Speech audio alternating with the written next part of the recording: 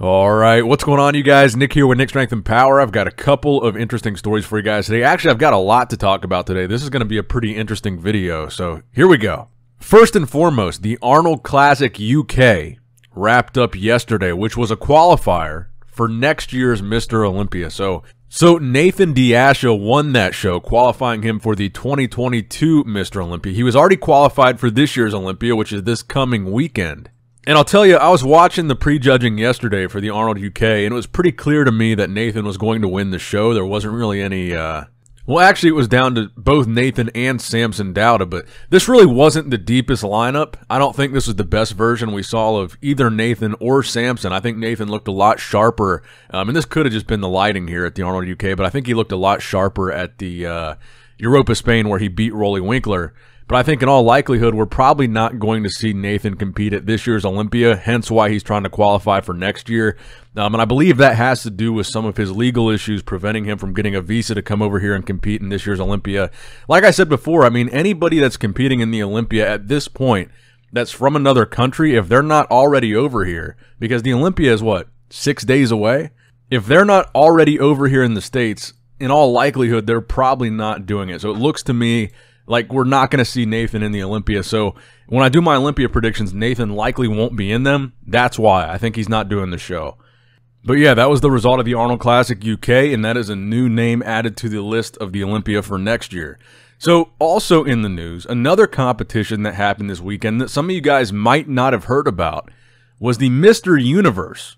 This was a competition held by the IFBB Elite Pro, which, as you guys probably know by now, is kind of the rival organization overseas to the IFBB Pro League, which is what we have here. That's what the Olympia is. That's what the Arnold Classic US is. That's what most of the pro bodybuilders that you're familiar with, that's where they compete. Now, one bodybuilder from that other organization that's been making a pretty big name for himself lately is Michael Krizo.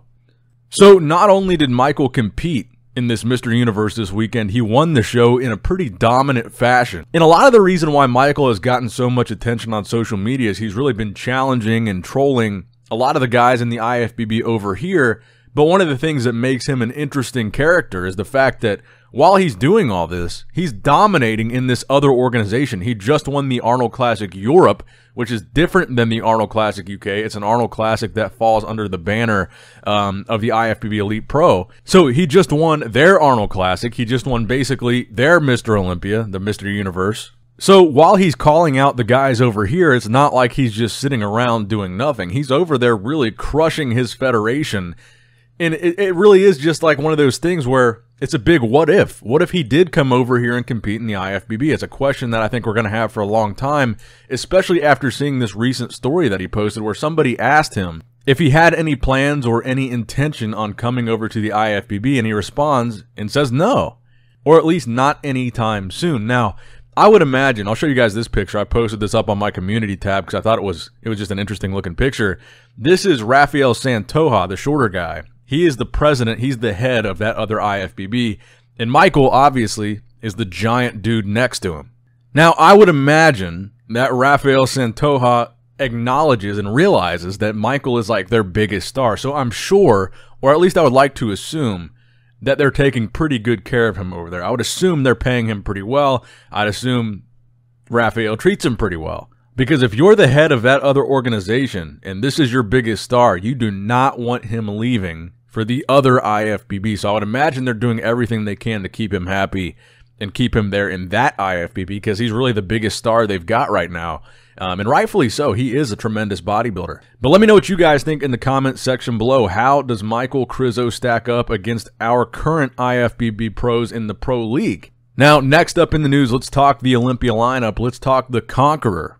William Bonac. So William Bonac was a guy that a lot of us wanted to see defend his Arnold Classic title in Columbus just, what, a couple weeks ago now.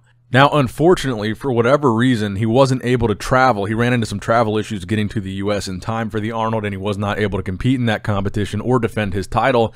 So he really wants to, I guess, make up for that at the Olympia. He really wants to get some, I guess, retribution for the fact that he wasn't able to compete the Arnold. And really, it is a shame that we didn't get to see him go up against Nick Walker. I've said before, I think they're really similar in a lot of regards. And I think that Bonac is a guy that really does bring that finer conditioning and that finer detail. And I think that would have been a really neat comparison with Nick Walker. But we are going to get to see that at the Olympia.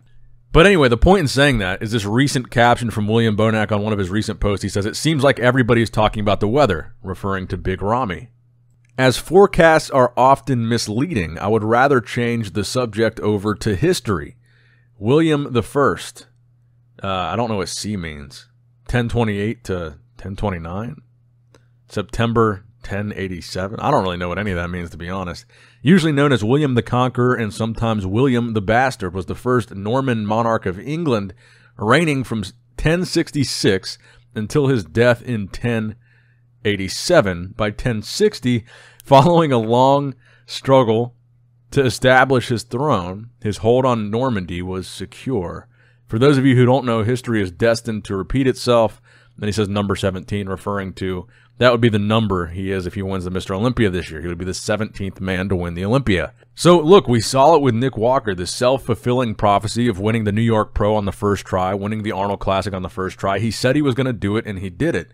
Is William Bonac kind of imitating what Nick Walker's doing and putting that energy out there that he's going to win the Olympia and trying to manifest that result?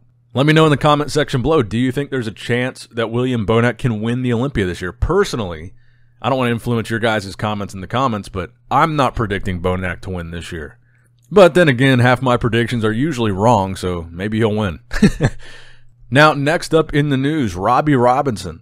Still hating on modern bodybuilders. I saw this on Buys and Tries Instagram, so shout out to them for uh, capturing these comments. But Nick Walker put up a post saying, This time next week, I will be center stage. The mutant is coming. And Robbie says, Sad. The mutant really needs to go back to the drawing board and come back as a real mutant top to bottom. That's ugly, Nick. No disrespect. Come back with a package that deserves the word mutant. Man, someone needs to take Robbie's phone, man. This man's he's getting too old for this. Look, the way that I'm starting to see things now is we've got classic physique. I've said this before. They made that division so that we can have those aesthetically pleasing physiques. That's what that whole division is focused on, and I think that division is rapidly growing, and I think it's going to become an equal to or greater than men's open bodybuilding eventually down the road. Honestly, I do. That division is taking over. So the way that I see it, now that we have that category, men's open bodybuilding not only can be different and doesn't have to be classic like those guys, it really needs to differentiate itself. It needs to be different than classic physique. Otherwise, why are there two different divisions? So here's my thing. If you have a guy like Nick Walker, he's massive. He is a mass monster. And he comes in crazy conditioned. He doesn't let his gut, he doesn't come in with a gut that's spilling everywhere, protruding all over the place, the whole bubble gut thing. That's non existent. Conditioning is great. He's got all the size in the world, controls the midsection. His posing is good. He's not all shaky. What more can you ask from a men's open bodybuilder? He's doing everything right, in my opinion, other than apparently the, the genetic structure that he has just isn't as pleasing. So, what are we really criticizing Nick for? What are we asking Nick to change here? Because really, the only thing is his structure. He's doing everything else right. Your job as an open bodybuilder is to be the most muscular guy on stage and the most conditioned, as well as proportion and balance and symmetry and all that good stuff. But Nick was the most muscular on that stage and the most conditioned, and he controlled his midsection. There was no gut. What more can we ask? Like when Robbie says go back to the drawing board, what does that mean? You want Nick to come back and compete 50 pounds lighter? Because I don't think that's why he's popular. I think he's popular because he is a freak. He is a mutant. And I think most people would acknowledge that. So I, you know, I'm a guy that's always been a fan of the aesthetically pleasing physiques, but I've really got to defend Nick here because what is he doing wrong? He's doing everything that a men's open bodybuilder should do. He's training hard. He trains with good form. He's putting on size. He's coming in big. He's ripped. He's muscular. His posing is great. I'm reiterating all the same things I just said. What more can you ask from the guy? And he's only 20, what, 26, I think? 25, 26? to be that young and to nail all these aspects of being a pro bodybuilder. Why is everyone being so hard on this guy? He's doing, not only is he doing the best he can, he's doing a really damn good job at it. So even though I prefer the more aesthetically pleasing physiques, you're not going to hear me call Nick Walker a frog or a toad or a caveman or whatever all these other people are calling him because he's doing exactly what he needs to do. He's doing his job and there's really nothing to criticize. He's doing it all right. Now, next up in the news, I just saw this physique update from Justin Rodriguez, who just took fourth at the 2021 Arnold Classic in Columbus, Ohio. Very impressive placing for Justin. Um, and he's a guy that I think could really do some damage at the Olympia. By the way, every a ton of people have been asking me about my Olympia predictions. They're either going to be tonight or tomorrow. So don't worry. I'm dropping them soon. And Justin will certainly be in those. So he's a guy that I really think could be a he's a, he's going to be a threat within the top 10, I think. And this year, I think we've got what 19 qualified bodybuilders. Now that doesn't mean that all 19 are actually going to show up, but there's a lot of guys qualified for this Olympia. I think we know that Phil's out. I think it's safe to say that Nathan's out, so 17. So I think top 10 in this year's lineup is going to be a pretty significant achievement. But yeah, Justin, he looked really impressive at the Arnold Classic. He looks really impressive here, and I think he's going to do pretty well at the Olympia this year.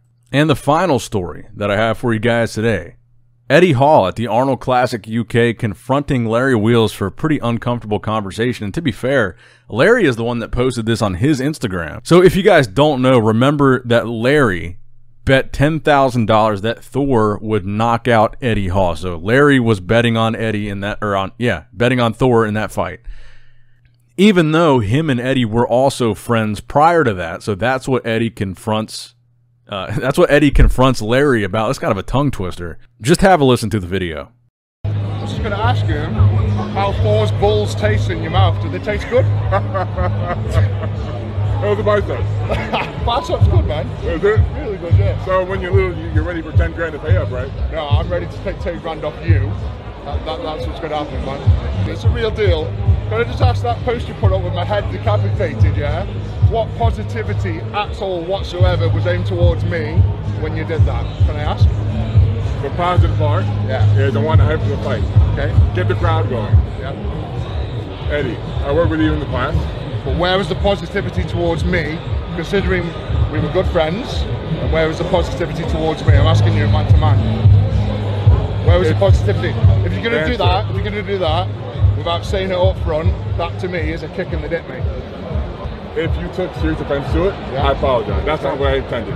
I intended to serve the pot, get some excitement going, make for a big match. I think it's really exciting. All right. And honestly, honestly, I just for the cameras. If I offended you, I'm sorry. Oh, you did. Okay. I'm sorry. All right. Apology accepted. All right, brother? Carry on sucking Thor's dick, and I'll look forward to taking 10 grand off you.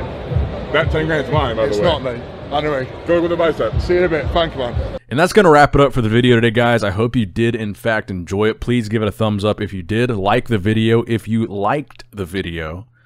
If you enjoyed the video, just make sure you show me. It's cheap. It's easy. It's not cheap. It's free. It helps out a lot. I just really appreciate it when you guys like the video. And we're going to go out today to the sounds of one of my subscribers, Justin Metz, singing an original, Dancing in the Goonlight. Let's see if we get copyright strike for this. Nick Strength and Power, signing out. Dancing in the Goonlight. everybody's feeling warm and bright. It's such a fine and natural sight. Everybody's dancing in the good